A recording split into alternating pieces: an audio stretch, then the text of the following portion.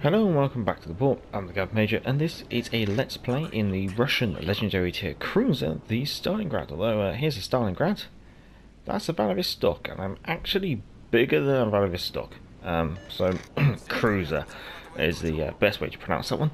Um, so this is obviously a legendary tier and tier 7 game of domination on shards. And uh, once we've gone unspotted, I will endeavour to show you the shipping forecast. So shipping forecast, we have Le Fantasque, Khabarovsk, Shimakaze, Siegfried, Alaska, Odin, Iowa, Yamato, Yamato. Two Yamatos are most certainly uh, of concern.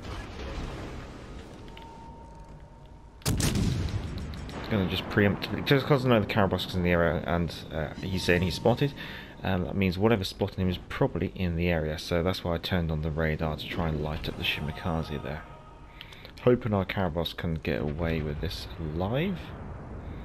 And unfortunately, due to the joys of the radar on the Stalingrad, yes, it is very scary for a destroyer to be detected by it if there's someone else who can do the shooting uh, because the uh, Stalingrad is only ever going to be able to get one volley off on target which is a bit of a shame.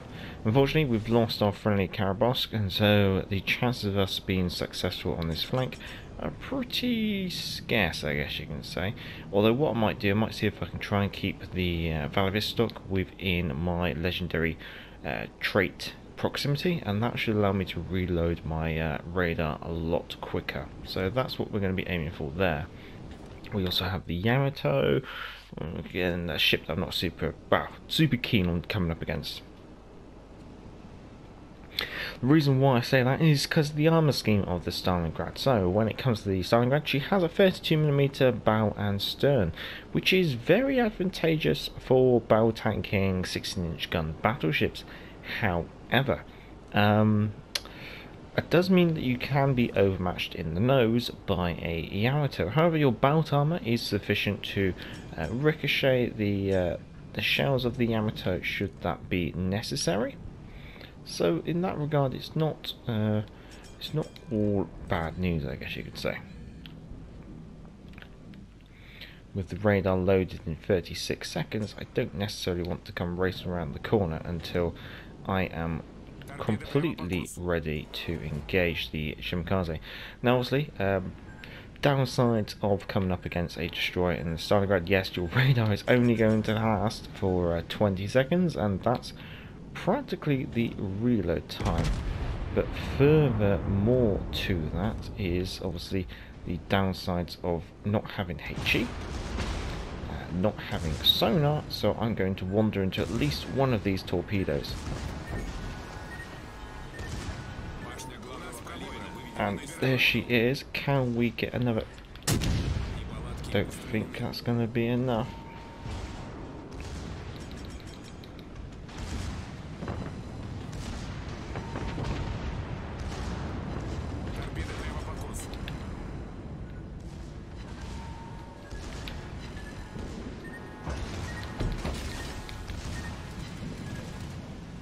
We are in a very, very strange position we have an enemy Alaska behind us.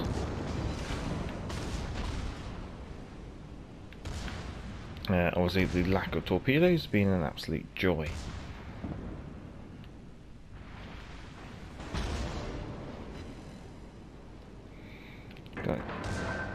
Aim for those cheeks on the Yamato, see what we can yield there.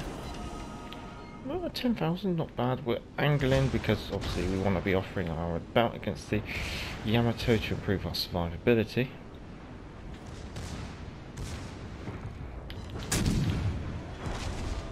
Alaska finding a nasty mark on us. Enemy Shimakaze, I believe, is now gone.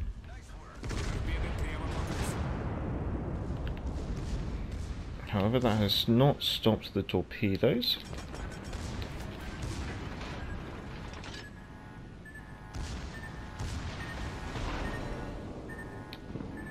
Yamato is now gone.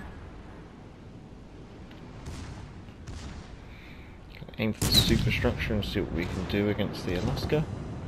10,000. tucking it back in.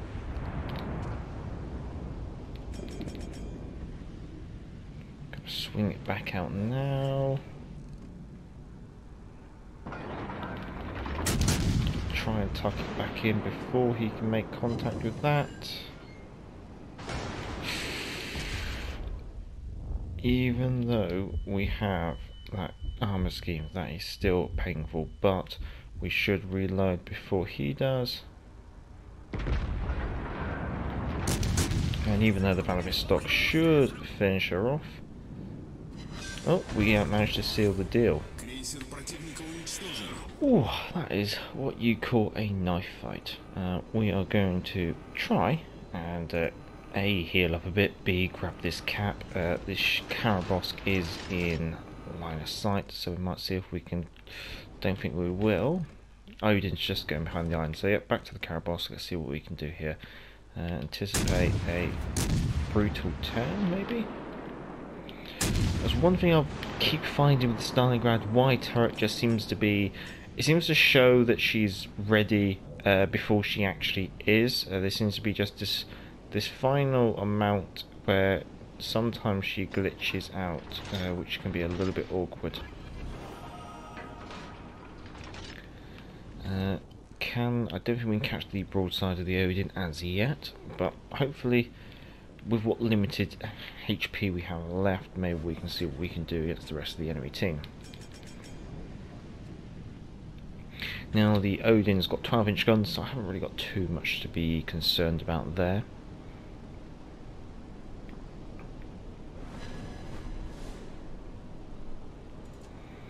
So I find with the Stalingrad she uh, she hits hard um, if given the opportunity.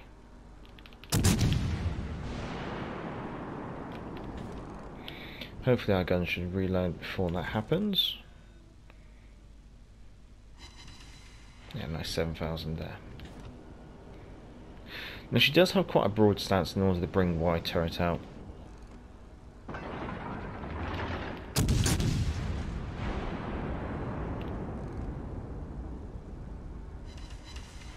That nice 7,000 there. Oh, there goes the Odin.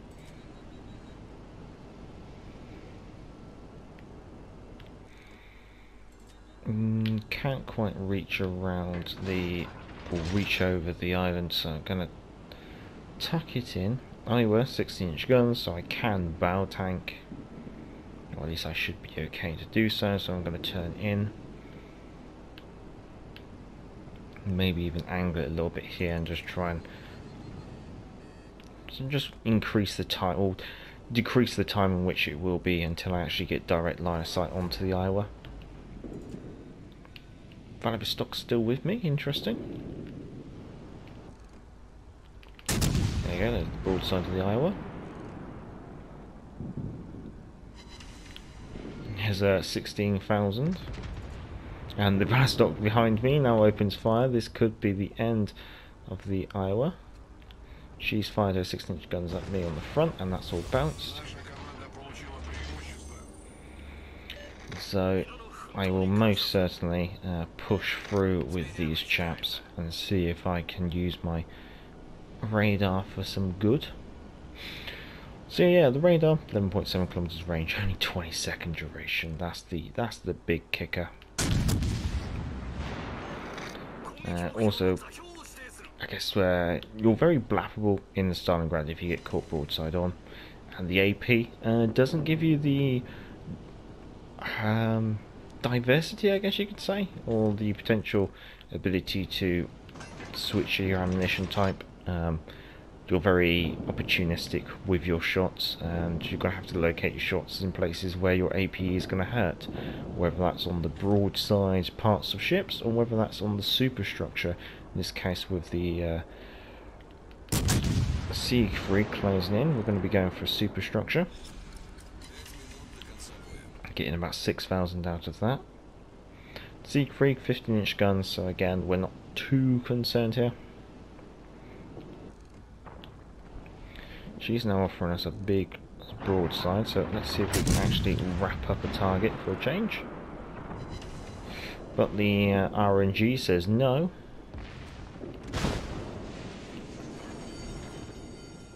A cheeky friend in the Khabarovsk there.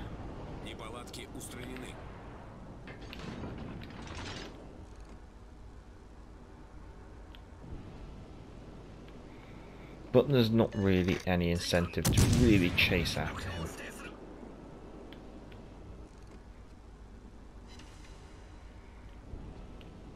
Not unless the Kagero wants to go get himself into a gunfight, which I, I doubt the Kagero wants to do.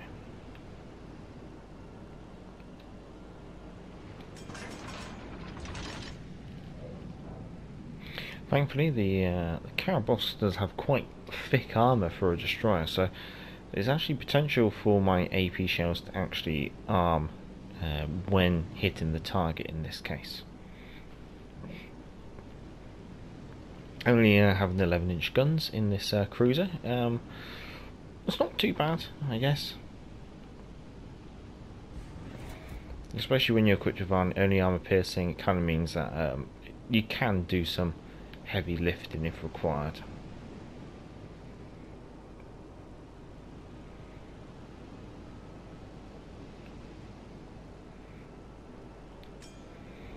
Not really sure what the Khabarovsk's grand intention is here. Is he going to try and sneak up along the island to uh, get a close-in attack, maybe?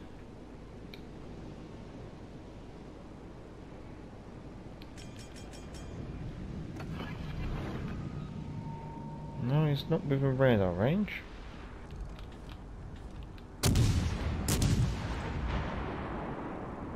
And he turns away.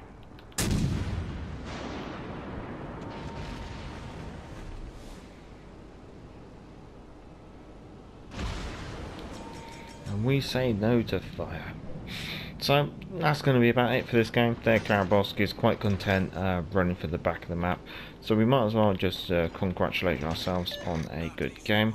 Um, and do a little bit of a tooting the horn. Um, because their Khabarovsk is not going to be able to do anything uh, apart from just be a mild irritant. Um, which isn't really much of a concern for us. Uh, in fact, we could actually probably actively just sail away. Um, so again, this is one of those scenarios where uh, if you're on the enemy destroyer, or the last one on your team, um, sometimes for the good of the game, maybe just hand yourself over, call it quits, because um, you're just dragging it out for everyone. So uh, we can uh, make a move out of here. There's uh, no point chasing him down.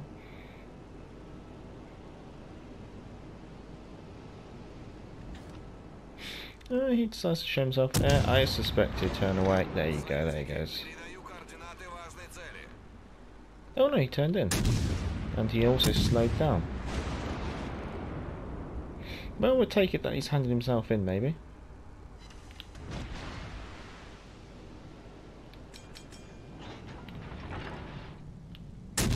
suspect he's going to accelerate. Potentially turn it out.